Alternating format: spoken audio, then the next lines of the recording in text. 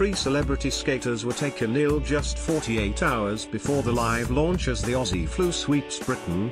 Bake Off's Candice Brown, Hollyoaks Stephanie Waring and Good Morning Britain weatherman Alex Beresford were all hit. It is just the latest in a series of upsets for the ITV show, which has been brought back after it was axed in 2014 due to falling ratings, and now many fear it is cursed. Earlier in the week, part of the set at the show's new home at Bovingdon Airfield in Hemel Hempstead was blown away by Storm Eleanor and had to be rebuilt.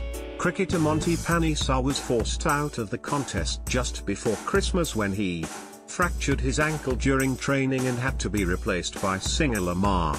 Love Island hunk Kem Cetinay split with girlfriend Amber Davies just after he signed for the show, and professional skaters Meg Marshall and one-off boyfriend Lloyd Jones left after just a week following backstage bust-ups. A source said, there is clearly some kind of curse going on here.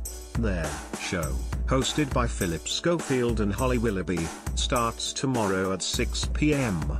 Kem, Stephanie, Candice, Antony Cotton, Perri Shakes-Drayton, Jake Quickenden and their ice dance partners will take to the ring. They will be scored by Jayne Torvill, Christopher Dean, Jason Gardiner, and Ashley Banjo.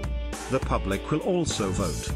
Next week Alex, Lemar, Brooke Vincent, Cheryl Baker, Max Evans, Donna Air and their partners will be on the ice.